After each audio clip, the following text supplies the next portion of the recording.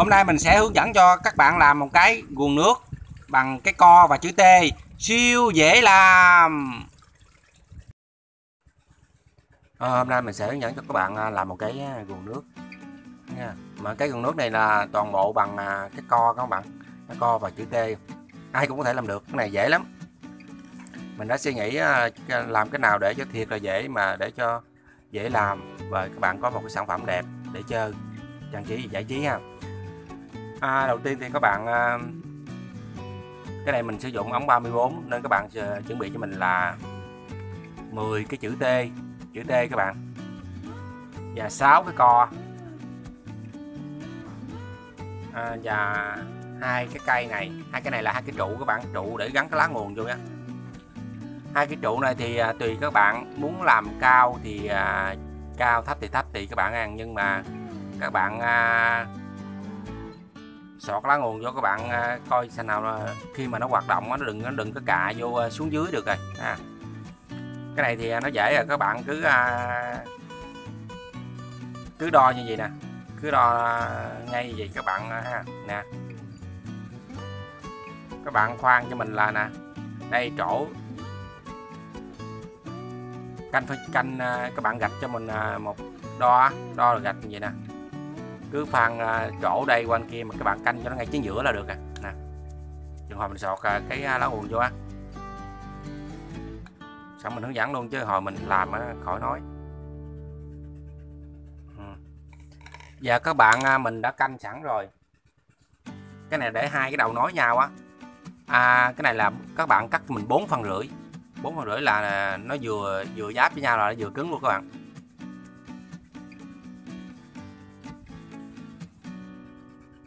Và cái đó thì các bạn cắt cho mình là để coi à, 15 khúc 15 khúc à, 15 đoạn như vậy đó các bạn. 15 đoạn 4 rưỡi. Còn ba cái đoạn này thì theo các bạn nha nếu mà cái lá nguồn các bạn lớn thì các bạn cắt dài như gì còn à, cái này thì theo lá nguồn. Còn nếu mà các bạn làm lá nguồn nhỏ nhỏ thôi thì à, bạn cắt bằng cái đó luôn còn có lá nguồn nè, thì à, cái này thì làm bằng cái à, cái đầu bít luôn vẫn được các bạn. Nhưng mà cái đầu bít nó không có đẹp, không đẹp bằng cái này. Cái này thì các bạn vào cái phần à, hướng dẫn của mình đó. Hướng dẫn làm nguồn nước của mình mà cái phần 1 á, cái phần 1 là mình có hướng dẫn làm cái lá nguồn á. Cái này nè để các bạn vào đó xem ha chứ cái phần này mình không có hướng dẫn làm luôn cái này, tại vì nó mất thời gian ha về các bạn chuẩn bị cho mình mà một cái à, uh, dây keo ha. Keo uh, keo ống nhựa các bạn. Và một dây keo 502 nữa nha. Tại vì có những khúc mà để mình chỉnh sửa mình chỉnh sửa thì mình làm cái uh, sử dụng 502 đi. Chứ mà cái này mà các bạn dán cho hết đi hết là bạn khó khó sửa lắm.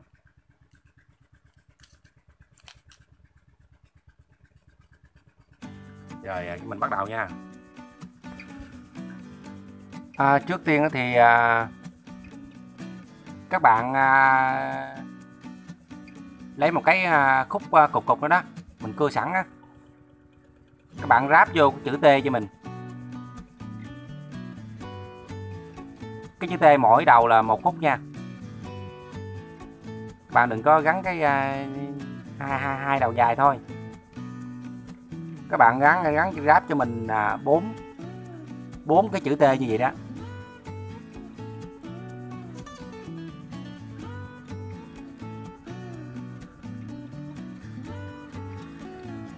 Mình à, ráp cái chữ T này vô á thì à,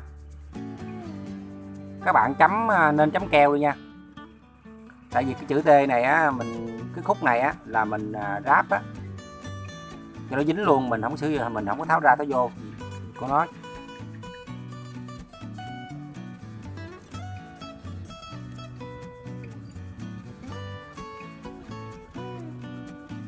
Mình khuyên các bạn nên là ráp trước đi.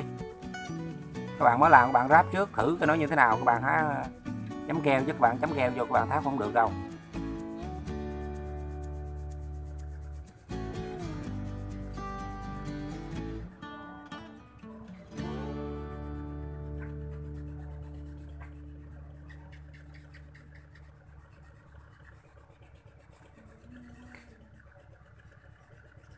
Giờ các bạn lấy cho mình hai hai cái à, cái chữ T đầu đó.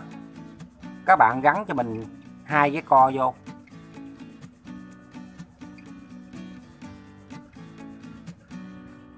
Hai cái đó là hai cái đầu úp vô đó các bạn. Còn chữ T này nè các bạn à, gắn cho mình cái đầu đó gắn cho thêm mình hai cái chữ T nữa. Đó bạn thấy không? Cái đó là chỗ cây trụ đứng lên đó.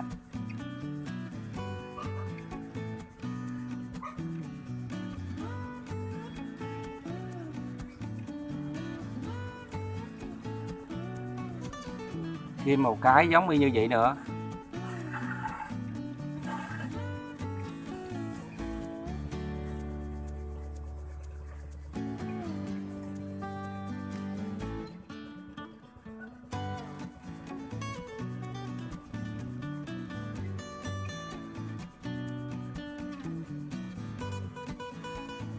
Thì các bạn chỉnh cho nó ngay đi nha.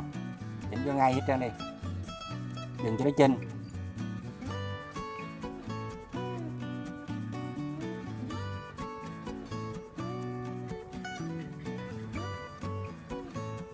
đó giờ các bạn ráp hai hai cái đó vô. Để nữa mà gắn đó, hai cái trụ đó các bạn, gắn hai trụ vô hai lỗ đó. Đó, giờ mình ráp ờ, hai cái đầu ờ, chữ T bị gắn hai co đó, các bạn ráp vô luôn. Bạn gõ cho sát vô.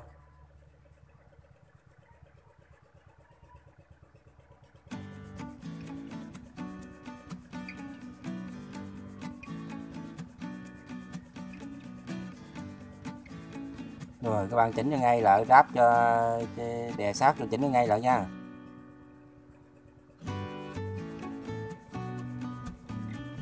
Cái đoạn giữa chỗ hai cái trụ đó, các bạn à, đừng à, đừng, tại vì cái lá ruộng của mình thì theo bự nhỏ nữa, nên mình còn chỉnh nên là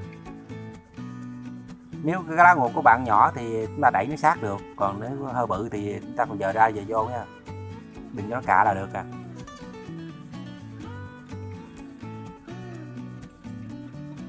Đó, các bạn gắn cho mình hai cái co đó là để gắn ở trên đó.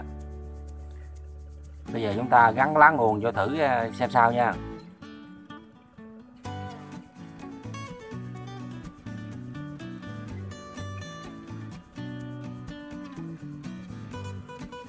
Các bạn à, cứ à, chỉnh cho nào cho nó thiệt là nhẹ là được à. Cái đó dễ chỉnh đó.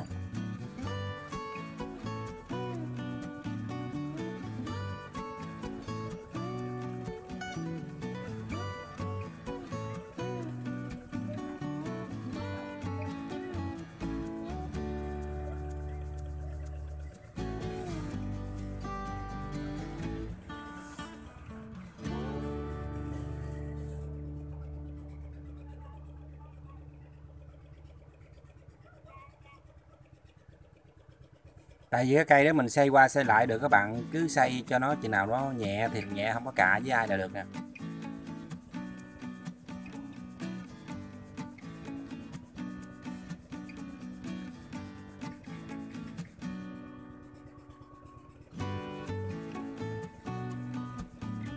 Đó, ngon lành đó các bạn. Còn à, hai cái trụ hai bên là mình làm một, thêm một cái chữ T nữa một hồi mình để chiếc à, xe đạp bên đó đó. Cái này thì chỉ có làm được chiếc xe đạp hoặc chiếc xuồng nữa các bạn.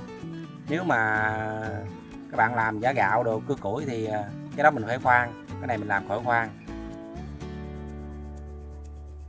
Này bây giờ là các bạn à, chỗ cái co này các bạn thấy không? Cái co ở dưới nước lên á. Các bạn lấy hai miếng xốp hai miếng xốp hai đầu đó. Các bạn phét lỗ bạn lòn cái ống lên. Còn đầu à, cái con đây các bạn bít luôn nha. Rồi chỗ ờ, bạn khoét mình cái lỗ để cho nước chảy xuống á đó. ở dưới này các bạn khoan chỗ ngay cái cây trụ lên á. Rồi cho ống lên nước lên. Đó bây giờ à, xong rồi nè. Giờ mình ráp chiếc xe, xe đạp vô. Cái uh, xe đạp này thì mình làm sẵn nha các bạn. Chứ uh, làm xe đạp lâu lắm. Bây giờ cái bẻ nè. Các bạn uh, tại vì đây là cái cây nhôm. Các bạn phải canh cho nó vừa nha bạn canh kỹ á. Chứ cây nhôm mà các bạn không canh kỹ á lỡ bẻ rồi các bạn bẻ lại nó gãy đó. Bạn bẻ khi bẻ làm cái nhôm mà các bạn bẻ nhẹ nhẹ tay thôi nha dễ gãy lắm.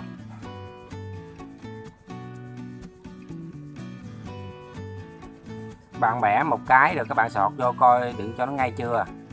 Rồi các bạn mới ờ, gạch canh đừng ờ, làm cái giò cái kia. Cây nhôm thì bẻ hơi công công thì các bạn bẻ là được, nhưng mà bẻ gắt như vậy đó. Bạn bẻ lại là nếu các bạn nó bị chịch đó là các bạn bẻ lại là nó gãy liền. Nó như vậy là các bạn bẻ ngay là gãy liền đó. Bây giờ à, gắn cái giò vô đi xem rồi à, mình canh đừng canh cái giò bên kia để mình bẻ.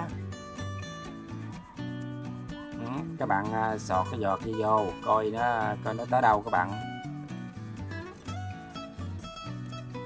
Lấy cái viết lông làm dấu nó một cái. Ừ. làm dấu đừng các bạn bẻ. Để cho nó ngay.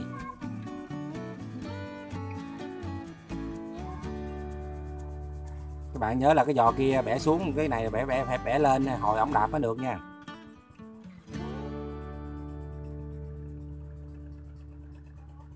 Đó, các bạn thấy không? Cũng xong như vậy đó, như thế đó.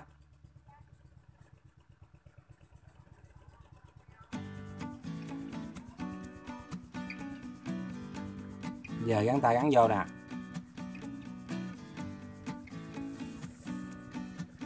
Tại này mình làm ờ, cái xe ba gác ờ, cái xe lôi này thì nó hơi dài.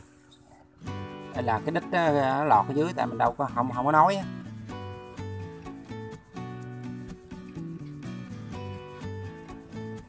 bây giờ cái bánh đầu á, nó dính lên cái lên cái à, cái chữ T đó rồi. Các bạn à,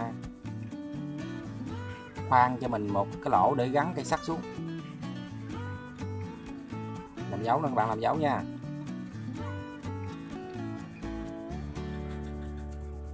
Làm dấu cái bánh luôn. Ghép một lỗ đừng hồi mà gắn vô cái sắt á.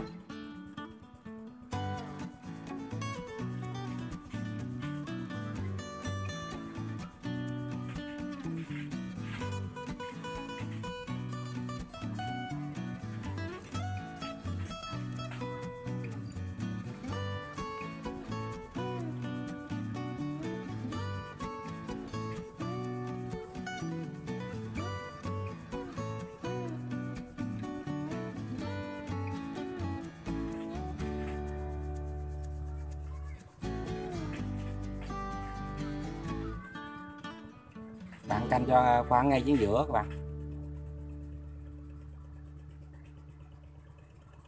Thằng cho chỗ xuống dưới luôn đi mình chấm keo sắt là nó dính cứng. Không không có bị lắc tới lắc lui.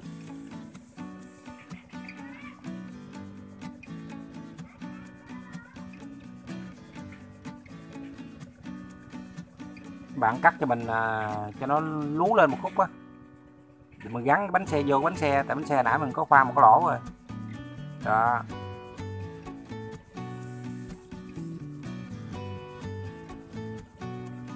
Bạn à, coi xe đạp giống giống vậy để mình à, bạn làm theo cái này mình làm một, à, một bên à, một bên ông xe lôi. Còn một bên kia là cái ông ba gá.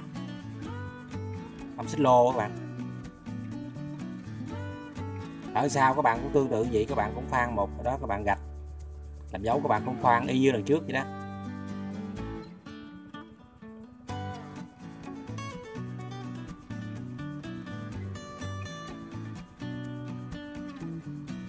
Bạn xem video thấy hay thì nhớ uh, cho mình một like nhớ đăng ký kênh ủng hộ mình nha.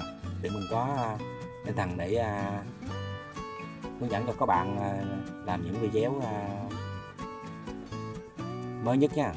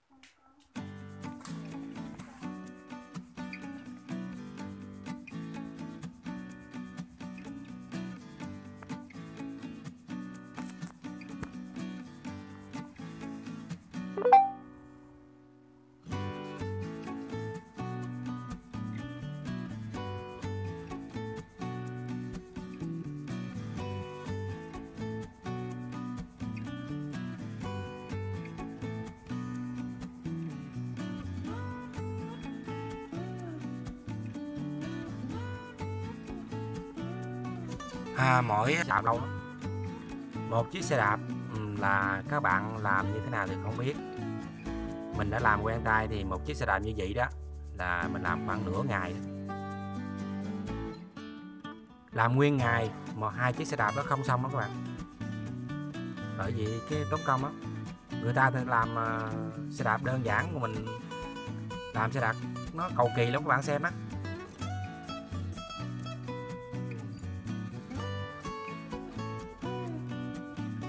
Mé bên đây thì à, các bạn à, làm cũng y như bên bên bên kia đó.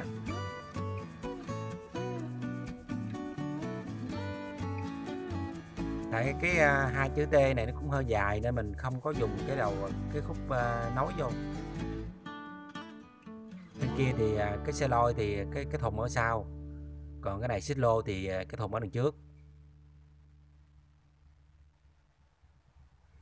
Những cái giò các bạn, mình làm chiếc xe đạp á những cái giò với à, những cái à, chung là những cái sườn của xe thùng á. Mình có tán bằng nhôm hết trơn rồi nên không bao giờ xúc các bạn. Cái nhôm mình tán lại. Mấy anh đây thì các bạn bẻ cũng y như mấy bạn, bên kia. Giờ cũng bẻ nhẹ nhẹ tay như vậy.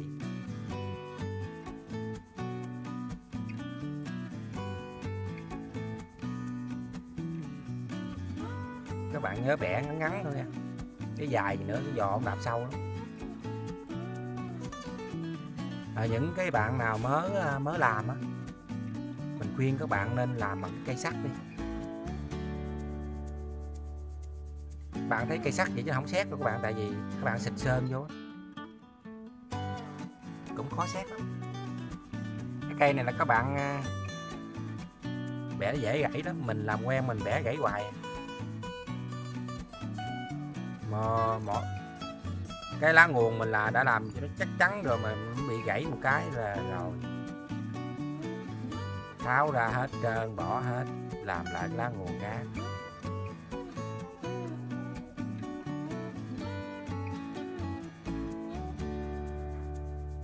Chúng ta bẻ vô à, bẻ một cái các bạn gắn cái giò đi vô trước. Cho nó dễ. Bạn nhớ nhớ gạch làm dấu nha cho nó bẻ cho nó, nó chính xác.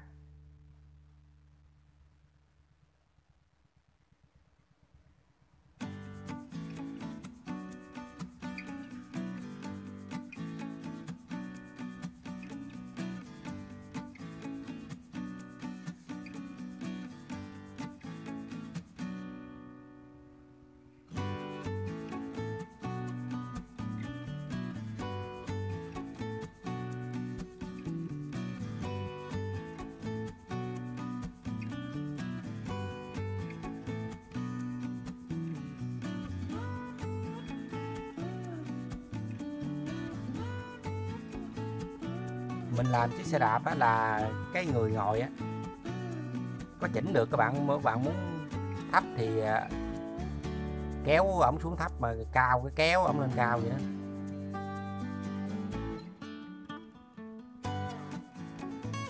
Mấy bên đây các bạn à, khoan cho mình hai cái lỗ y như bên kia vậy đó.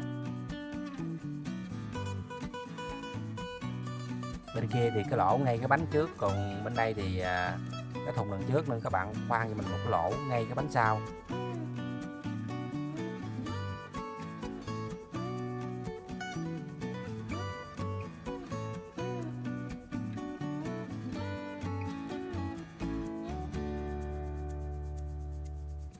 các bạn thấy mình làm cái bánh xe giống y như thiệt không?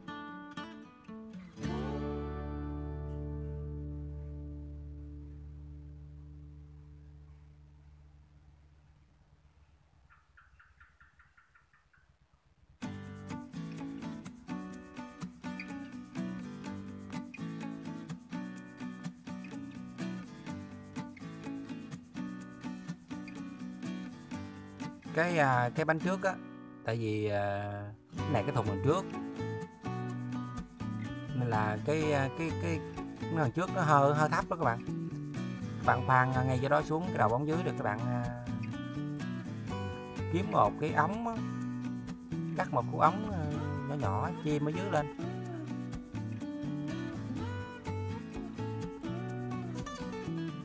Sọt cho nó ngay đi coi ba cao vừa cái giò ống đạp á.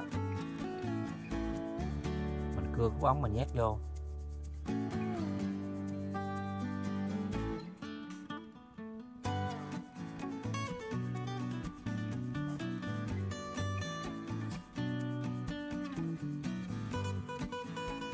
Mình à, sáng tạo ra những cái à, những cái mà dễ nói chung là dễ dễ dễ làm dễ hiểu cho các bạn làm một cái để chơi giải trí.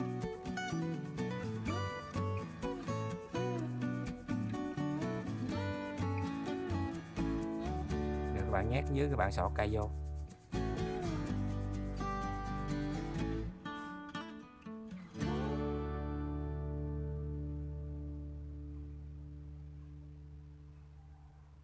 Đó, ok được các bạn.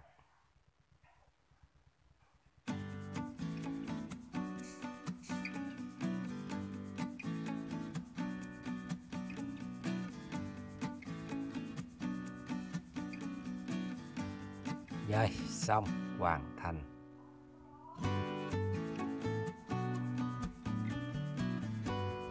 Rồi, bây giờ chúng ta đem ra thử nha.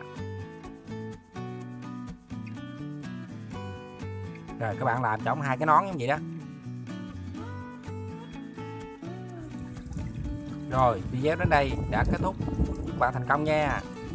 Xin chào hẹn gặp lại các bạn nha.